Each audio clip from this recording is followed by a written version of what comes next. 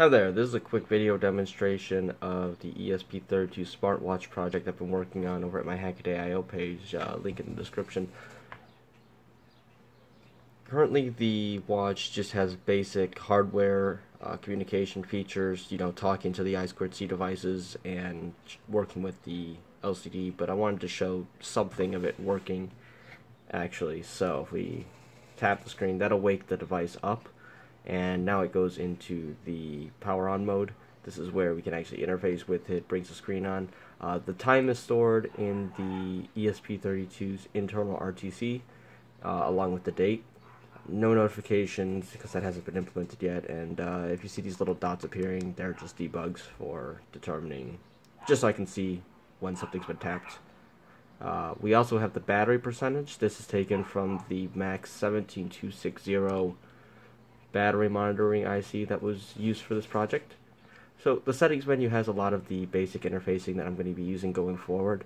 So for example, this is the settings menu, and normally we'd be able to scroll, but there's not enough options. So uh, we can select one of these options, and it brings up its own little window, which gives us the data that we want to see. Uh, in this case, we're looking at the battery status, uh, some stuff about the battery. Let's see if I can get this to focus a little better. So that statuses are things that come out of the the battery manager or the battery monitoring IC. So we can get the voltage, the percentage remaining, uh, the remaining capacity, and I'm testing out this estimated life. Um, it doesn't seem to average over the total on time. It seems to average over just a few seconds. So right now it's showing three hours. It's assuming three hours with this on. We'll see if that's.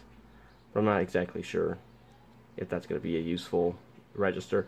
Um, other menu options, this one right here is a scroll menu, which will be useful for displaying larger strings. So you can just, if we want to read a lot of text, you know, something like a phone notification or an email, uh, that's what this is going to be used for. And that's pretty much it. Uh, buttons interface buttons are used to move and navigate. Uh, the only one that works at the moment is the settings. So. But I just wanted to show what the interface looks like, how the project's coming along, and kind of basically how the software is going to function.